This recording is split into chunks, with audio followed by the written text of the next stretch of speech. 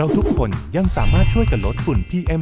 2.5 โดยการดูแลรักษาสภาพรถยนต์ด้วยวิธีการง่าย ๆ 1. ทำความสะอาดไส้กรองอากาศอย่างสม่ำเสมอ 2. ชำระล้างสิ่งสกปรกในท่อไอเสีย โดยฉีดน้ำเข้าไปทำความสะอาดภายในท่อ 3. มันเปลี่ยนน้ำมันเครื่องตามระยะเวลาที่ผู้ผลิตกำหนด 4. ตรวจเช็คหัวฉีดและปั๊มหัวฉีดน้ำมัน ให้อยู่ในสภาพดี พร้อมใช้งานมันดูแลตรวจเช็คสภาพรถก่อนใช้ เพื่อให้ทุกครอบครัว ปลอดภัยสังคมไทยปลอดฝุ่น